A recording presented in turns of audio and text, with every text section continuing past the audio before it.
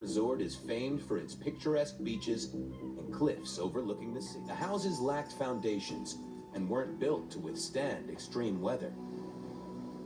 But in March 2018, the UK was hit by some of the most brutal storms on record. It may have been spring in the UK, but a powerful cold storm blew in from Siberia. So bad it was nicknamed the Beast from the East, and it lashed the country.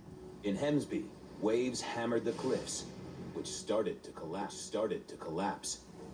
In just two days, the cliffs receded by over 16 feet. The storms of the beast lasted a month. By the end, 36 feet of cliffs had disappeared. Sadly, it went over the edge. And it just went with a big crash and a bang. But the beast wasn't done yet.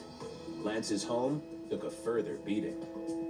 Subsequently, the storm that we had knocked another 20 metres off. So we basically, we've lost 40 metres off the back of my properties.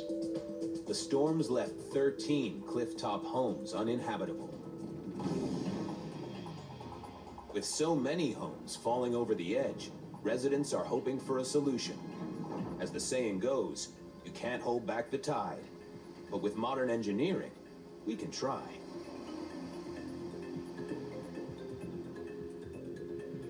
One of the options that people have considered uh, recently is, is what we call managed realignment. So you can make decisions to essentially let nature take its course, but guide it a little bit.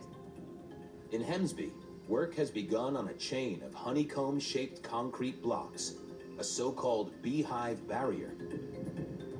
The chain is designed to allow tidal waters to pass through while absorbing the impact of waves before they reach the cliffs. Concrete barriers are ugly and expensive, but if the alternative is that people are going to lose their homes every time there's a big storm, then it's probably a price worth paying. No, it's not. No, These it's not worth honeycomb paying. defenses